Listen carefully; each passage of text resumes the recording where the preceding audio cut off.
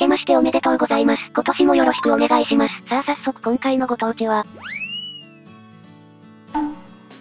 タラバガニが名産、石川県。神が勇者の兜みたいになってんぞ。それじゃあ今回は石川県の神カレーをだぜ。金を買う神なんてないんだぜ先週。初混乱しとる。ほら、それに言うだろう。おせちに飽きたら。ケーキを食べればよいじゃない。お前はどこのアントワネットか。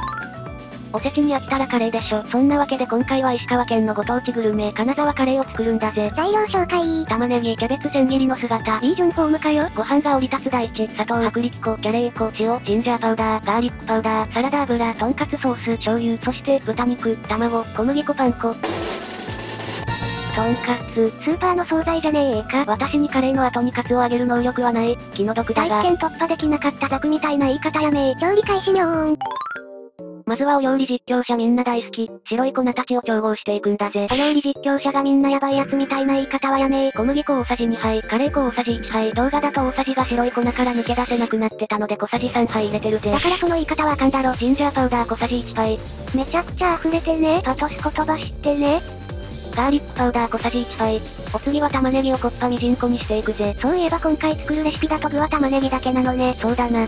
その代わり2人前のカレーで玉ねぎ1個だから多めかな？っていうかみじん切りのやり方忘れた。大丈夫おばあちゃん。朝ごはんはさっき食べたでしょう。え、マジで？今試合前の減量中だから飯食ってないんだけど。随分アグレッシブなおばあちゃんだな。やて。そうしたら油を敷いたフライパンで中火で玉ねぎを炒めていくんだぜ。カレーのこだわりにおなじみの飴色玉ねぎってやつだぜ。玉ねぎさんをこんな色にしようっていうのか？よりによってペロキャン持ってくんな。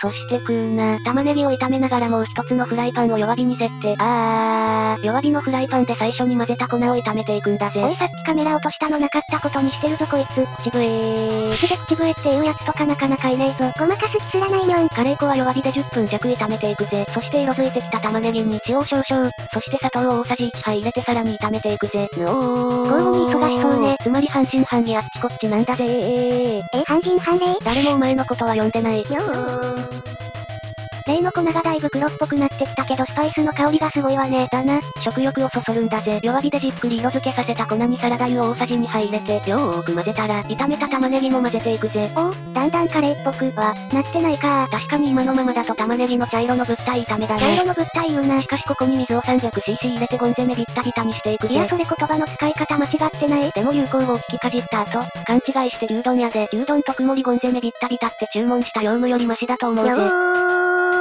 よーん、裏付けみたいな牛丼が来そうねそれ。あら、水を入れて少し煮詰めたら一気にカレーっぽくなったわね。そうだろそうだろ。あとはここに砂糖大さじ1杯、醤油大さじ2杯、とんかつソース大さじ2杯を入れて味を整えるぜ。あとは弱火で焦げつかないように煮詰めていくぜ。それじゃあマリサ、金沢カレーってどんな歴史があるのかしら？ああ、それなんだが。1960年代に現在のチャンピオンカレーの創業者のシェフが考案したカレーで、それが元の弟弟子や部下によって広がっていった地域に根ざしたカレーで2000年代に全国的に有名になったんだけど一体どんなカレーなのかしら？そ、それで金沢カレーの特徴なんだが、黒に近いドロッとしたカレー、ステンレス製の器、フォークで食べる、とんかつがカレーの上に乗ってソースがかかる千切りキャベツが添えられている。ってことが特徴として多いんだけど、一体どんなカレーなのにょんだからそれ以上何を言えとさあ盛り付けだぜ。器にキャベツ、ご飯。いつもの映えない麦ご飯。ルーをかけてとんかつを並べてソースをかけたら出来上がりなんかゆで卵増えてね。クック、お年玉なんだぜ。割れとるやないかい。そして福神漬けがないにょん。あ、買うの忘れてた。正月に神様忘れるとか縁起悪いわよ。代わりに昆布の佃煮死んじゃダメかな。どんな神様だにょん。